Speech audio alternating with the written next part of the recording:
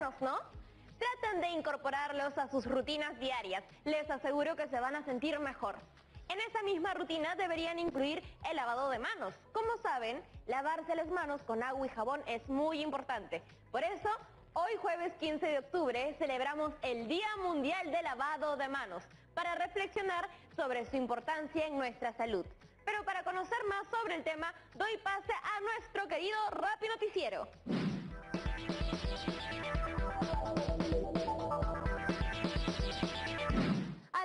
Las manos, un gesto tan simple hoy, es clave para la supervivencia de millones de personas. Por eso, desde el 2008 se celebra cada 15 de octubre el Día Mundial de Lavado de Manos. Le damos pase a nuestro reportero estrella que en estos momentos tiene una primicia. Estamos aquí como siempre en el lugar de los hechos, recogiendo las declaraciones más importantes. El día de hoy tenemos la gentileza de contar con las palabras del señor Caño. Disculpe, ¿cuál era su apellido? Correcto, el señor Caño de las Casas. Díganos, don Caño, ¿cómo se están lavando las manos las personas últimamente?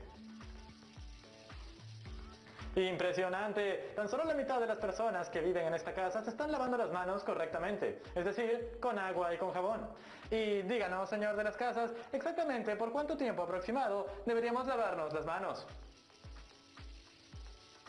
Claro como el agua. Deberíamos de lavarnos las manos por lo menos durante 20 segundos. Muchas gracias por sus declaraciones, señor Caño de las Casas. Regresamos a estudios. Muchas gracias a nuestro reportero, siempre presente donde más se le necesita. Vamos ahora con nuestra siguiente noticia. El pasado mes de junio, el gobierno anunció una inversión por más de 100 millones de soles para la producción y el acceso a oxígeno medicinal. Esto se llevó a cabo a fin de combatir su escasez y brindarles tratamiento a los y las pacientes con COVID-19. Esperemos que con esto el país pueda tener una mejor respuesta sanitaria. Eso ha sido todo por el momento. Para más información, las y los esperamos en la ampliación de las noticias. Hasta la próxima.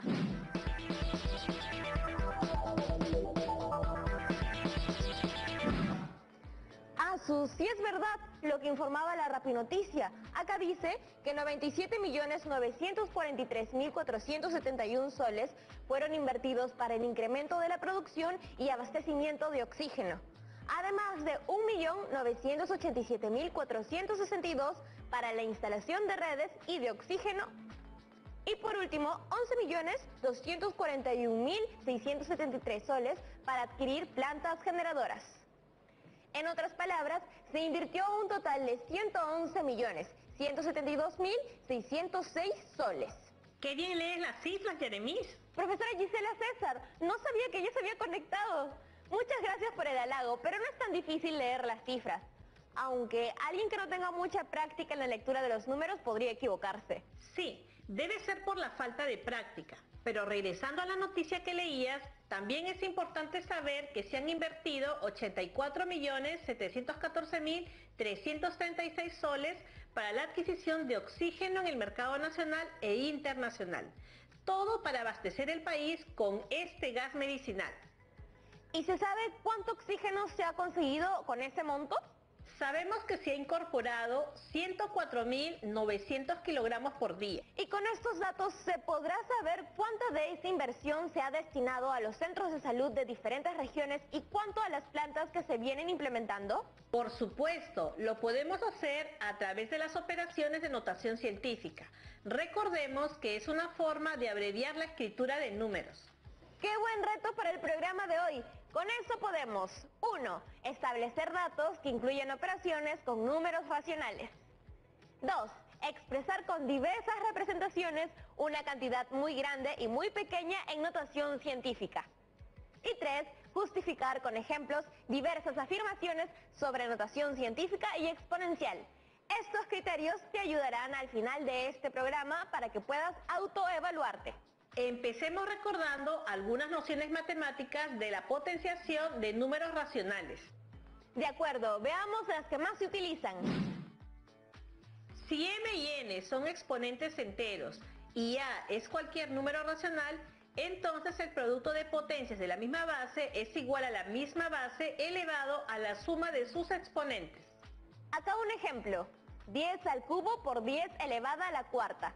Sumamos los exponentes y el resultado es 10 elevada a la séptima.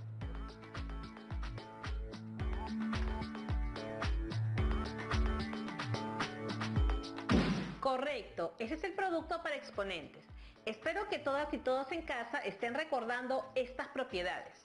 Veamos el cociente para exponentes o propiedad de la división de potencias de igual base. Si A es cualquier número racional diferente de 0 y M y N son exponentes enteros diferentes de 0, entonces el cociente de dos potencias de la misma base es otra potencia de la misma base cuyo exponente es la diferencia de los exponentes. Acá un ejemplo, 10 elevado a la séptima sobre 10 al cubo. Restamos sus exponentes y el resultado es 10 elevado a la cuarta.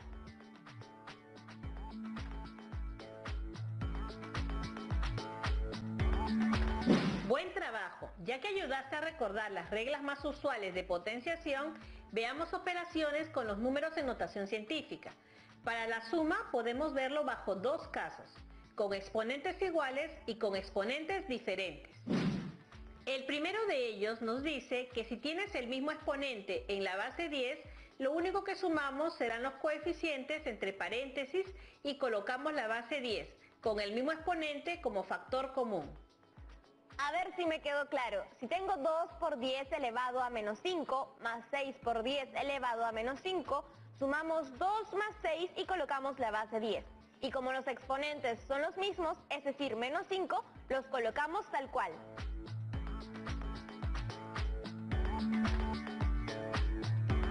Así es, Yaremis. Ahora vayamos con el siguiente caso. Si los números en notación científica que queremos sumar no tienen el exponente en la base 10, antes de realizar la suma tenemos que hacer que todos tengan el mismo exponente. ¿Y cómo logramos eso? Veamos el siguiente ejemplo. Si tenemos 5 por 10 elevado a la quinta, más 4 por 10 elevado a la cuarta, podemos ver que los exponentes son diferentes. Entonces, se busca que ambas expresiones tengan el mismo exponente en función al mayor exponente. Que en este caso es a la quinta. Tenemos que expresar ambos valores. Para eso, a 4 por 10 elevado a la cuarta le corremos la coma decimal a la izquierda, de tal manera que tengamos 0,4 por 10 y lo multiplicamos por 10 elevado a la cuarta para convertirla en 10 elevado a la quinta. Entonces nuestra notación científica es 5 por 10 elevado a la quinta, más 0,4 por 10 elevado a la quinta. Y ya que ambos números tienen la misma potencia de base 10, sumamos los coeficientes para luego escribir la potencia de base 10 igualada. 0,4 más 5, que es igual a 5,4 por 10 a la quinta. Correcto, Yeremis. Y esta es su expresión general. A por 10 elevado a la m más b por 10 elevado a la m es igual a a más b por 10 elevado al mismo exponente m, donde a y b son coeficientes que deben estar entre 1 y 10, como condición de la notación científica. ¿Y cómo resolvemos los problemas de resta en notación científica? Se realiza de la misma manera. ¿En serio? Uy, tengo una llamada. ¿Le parece si para el siguiente bloque vemos las sustracciones? Justo tengo una llamada que está entrando y me parece que puede ser urgente. Por supuesto. Entonces, al volver seguiremos resolviendo operaciones en notación científica. No nos demoramos. Quédense en Aprendo en Casa. A las 5 de la tarde. Aprender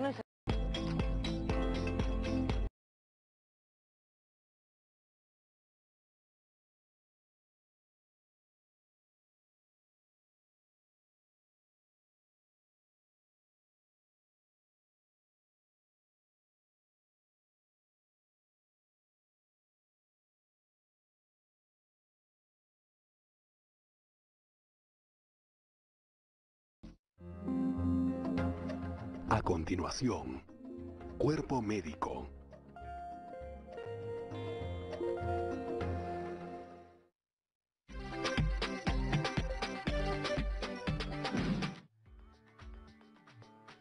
Qué bueno saber eso, Susi. Que qué bueno saber eso. Susi, qué bueno que estés usando mascarilla facial para movilizarte en el transporte público. Y recuerda que el lavado de manos es muy importante. Cuídate. Bueno, ya te tengo que cortar. Hablamos después, ¿sí? ¡Chao! Hola nuevamente, retomamos nuestro programa de hoy. Nos quedamos en... Nos quedamos en resolver una sustracción en la notación científica de la siguiente operación. Donde 2,5 por 10 elevado a menos 3 menos 7,5 por 10 elevado a menos 3 lo resolvemos igual que la suma. Entonces, restamos los coeficientes y nos quedamos con el mismo exponente. Eso quiere decir menos 5 por 10 elevado a menos 3. Y de la misma manera en que lo hicimos en la adición, cuando nos encontramos con un exponente de la potencia base 10 diferente, lo que debemos hacer es igualar el número de la notación científica en función al que tiene el mayor exponente. Usaré este ejemplo. 8,3 por 10 elevado a menos 5 menos 1,8 por 10 elevado a menos 6. Vemos que 1,8 por 10 elevado a la menos 6 es el número en notación científica con menor exponente en su potencia de base, 10. Para igualar, movemos la coma decimal hacia la izquierda y nos queda 0,18 por 10 elevado a la unidad por 10 elevado a la menos 6. Resulta finalmente 0,18 por 10 elevado a la menos 5. Ahora tenemos ambos valores en función a la misma potencia de base 10. Restamos los números y eso nos da la respuesta. Esta sería la expresión general de la sustracción de números en notación científica. A por 10 elevado a la m menos b por 10 elevado a la m es igual a a menos b por 10 elevado al mismo exponente m, donde a menos b debe estar entre 1 y 10 como condición de la notación científica.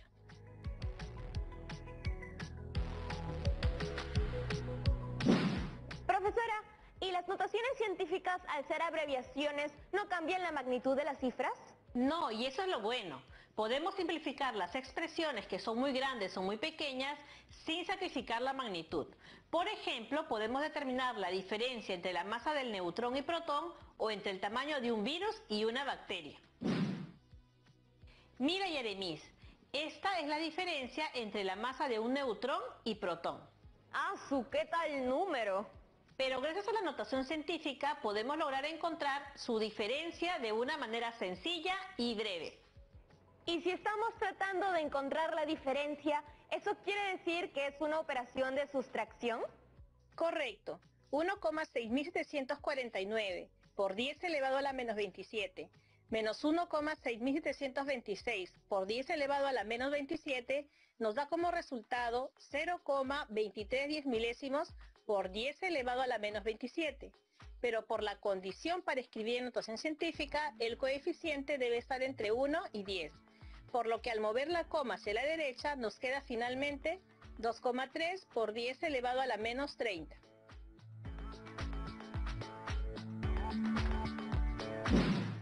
¡Wow! ¿Cuánto estamos aprendiendo hoy día? Por eso me gusta la matemática. Todos los días se aprende algo nuevo. Hablando de eso, ¿sabe que el día de hoy es el Día Mundial del Lavado de Manos? No, no lo sabía. Qué bueno que se le dedique una fecha a una acción tan sencilla y necesaria para combatir muchos males como el coronavirus. Qué loco que solo con lavarnos las manos podemos evitar que el virus se siga propagando.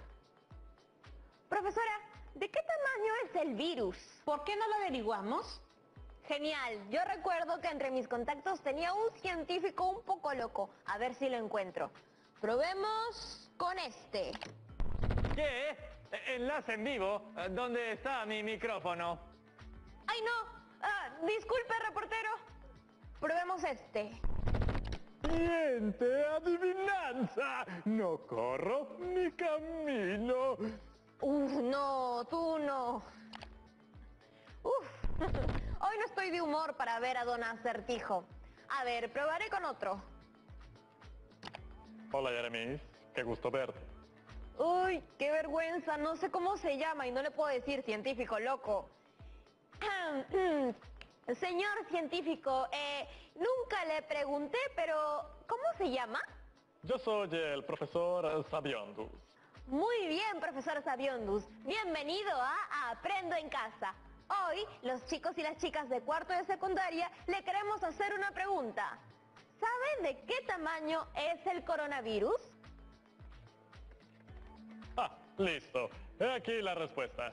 Muchos y muchas colegas no se ponen de acuerdo, pero según mis cálculos, el coronavirus SARS-CoV-2 mide aproximadamente 160 nanómetros. Un nanómetro es la mil millonésima parte de un metro, y es por ser tan microscópico que el virus se transmite a través de las gotículas generadas por las personas. Si lo clasificamos, podemos decir que es un virus ARN monocaretiano Eh, positivo. Profesor Sabiondus, eh, muchas gracias, pero ya no necesitamos tanta Pertenece género de los información. beta coronavirus. Nido virales, Eh, profesor, coronaviridae. no lo escuchamos. ¡Ay! ¡Mala señal! Uf, ¡Qué personaje! Jeremis, ¿qué te parece si comparamos el tamaño de un virus con el de un microbio? ¡Qué buena idea! Hagamos eso. Este es el tamaño de un microbio y este es el de un virus. Se ve fácil. La notación científica del tamaño del microbio es 4 por 10 elevado a menos 6, mientras el del virus es 2 por 10 elevado a menos 8. Al momento de restar 4 por 10 a la menos 6 menos 2 por 10 a la menos 8, nos damos cuenta que los exponentes de la base 10n son iguales. Entonces, 10 a la menos 6 podemos representarlo como 10 al cuadrado por 10 a la octava, de tal manera que nos quedaría 400 por 10 a la menos 8 menos 2 por 10 a la menos 8. Restamos los coeficientes 402 y se mantiene 10 a la menos 8. Tenemos como resultado 398 por 10 a la menos 8. Convirtiendo a notación científica, lo ponemos como 3,98 por 10 a la menos 6.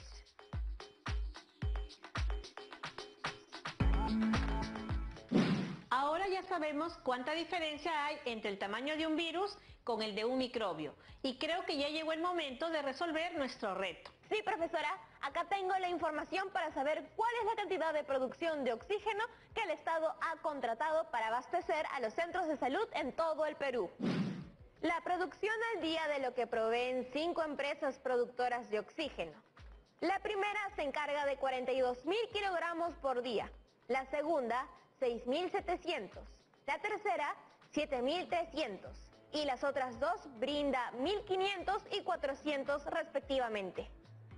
Todas las notaciones expresadas bajo el mismo exponente en la base 10 elevado a la quinta, que es el de mayor notación científica. Sumamos los coeficientes y nos sale 0,579 por 10 elevado a la 5, pero por la condición para escribir en notación científica debe ser mayor o igual que 1 y menor que 10. Descomponemos la potencia 10 elevado a la quinta en 10 por 10 elevado a la cuarta. ¿Qué resultado obtuviste? 5,79 por 10 elevado a la cuarta, que es la producción equivalente a los 57.900 kilogramos por día. Excelente, Yeremis. Ahora determinemos la cantidad invertida por el Ministerio de Salud al abastecimiento de oxígeno medicinal. Recuérdame con qué información contamos. Para incrementar la producción de oxígeno, el Estado peruano ha destinado un total de 97.943.471 soles para su producción y abastecimiento, 1.987.462 soles para la instalación de redes de gases, 11.241.673 para la compra de plantas generadoras de oxígeno. Ahora tenemos que abreviar. Primero, fíjense en una de las cantidades, 1.987.462. Es verdad, tendría que igualarla a las demás expresiones. Y para eso elevo a la séptima, ¿cierto? Así es. Para este caso vamos a expresar todos los números en notación científica con potencia de base 10 elevado al mismo exponente. Y así trabajar con aproximaciones, por ejemplo, al milésimo. 0,1.987.462 10 millonésimas por 10 a la séptima. Sumemos los coeficientes que están en el paréntesis y lo multiplicamos por la base 10 elevado a la séptima. 11,117 por 10 elevado a la séptima. Pero por la condición para escribir en notación científica, el coeficiente debe estar entre 1 y 10, por lo que el resultado es 1,1117 por 10 elevado a la octava. ¿Y qué quiere decir este resultado? Como estamos hablando de millones, entonces quiere decir que el Estado peruano ha destinado más de 111 millones 170 mil soles para atender esta falta de oxígeno en todo el país. Correcto, hemos completado el reto que se propusieron al inicio del programa. ¡Wow! Es una gran inversión, pero cuando se trata de vidas humanas, creo que es lo correcto. Efectivamente, Jeremis, se tienen que hacer este tipo de esfuerzos para poder asegurar el mismo acceso de salud a todas y todos por igual.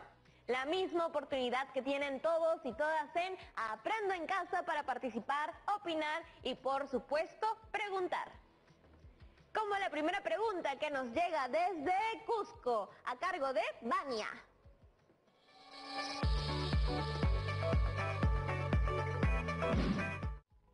Hola, mi nombre es Vania. Soy de la ciudad de Cusco. ¿Qué podemos hacer para mejorar nuestras operaciones con números racionales? Para mejorar nuestros aprendizajes siempre es recomendable ordenarnos y así saber bien cómo vamos. Este cuadro te puede ayudar a pulir fortalezas y superar algunas debilidades. Acá vemos una columna con preguntas relacionadas a las diferentes situaciones que se te han presentado durante tu aprendizaje.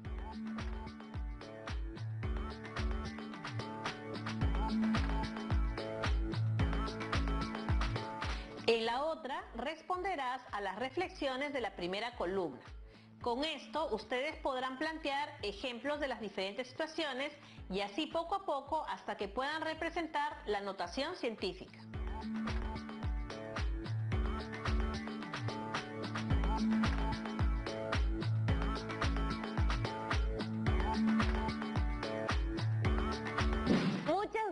Responder la pregunta de Vania. Creo que este cuadro nos puede servir a muchos y muchas de nosotras. De eso se trata, Yeremis, de encontrar maneras en organizarnos para reflexionar sobre nuestro aprendizaje.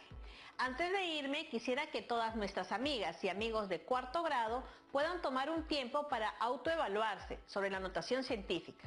Claro, después de estos programas.